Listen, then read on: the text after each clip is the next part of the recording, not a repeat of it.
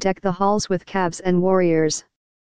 For the third straight Christmas, the Cleveland Cavaliers and Golden State Warriors will face off on the NBA's most festive day of the season.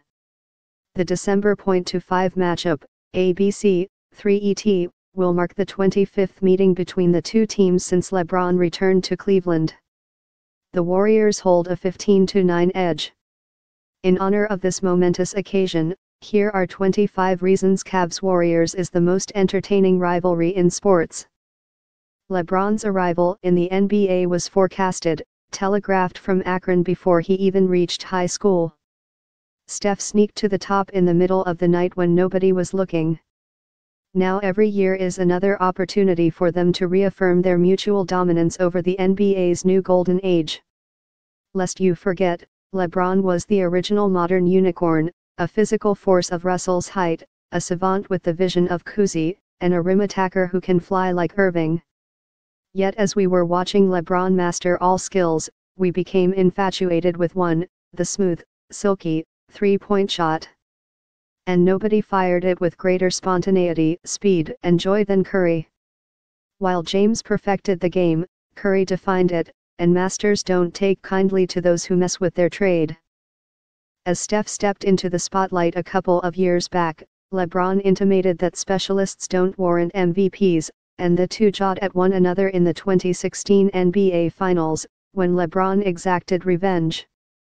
Basketball has enough love to go around, but LeBron and Steph will forever battle over influence, over whose handprint left the most indelible impression over the game they both love. Kevin Arnovitz early in 2015-16, Cavs players would have the TV on when reporters entered their locker room after games in Cleveland. If the Warriors were playing that night, their game was frequently on the massive screen. While not all of the Cavs players would sit at their stalls and tune in, LeBron would hardly ever miss an opportunity to watch the new darlings of the NBA. When word began to spread that the Cavaliers were suffering from Warriors paranoia, the team started turning off the TV or changing the channel prior to the media entering the locker room. From then on, the Cavs did their best to dispel the narrative that they were concerned about the Warriors. Chris Haynes It was the finest moment of Matthew Dellavedova's career, but he could barely move. His entire body seized up in the cold tub after his 20-point explosion in Game 3 of the 2015 NBA Finals and he was carried to a table, where several trainers tried to relieve massive cramping.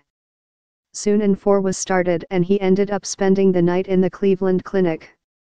That was the toll that scoring 20 points and chasing Steph Curry around for 40 minutes took on him.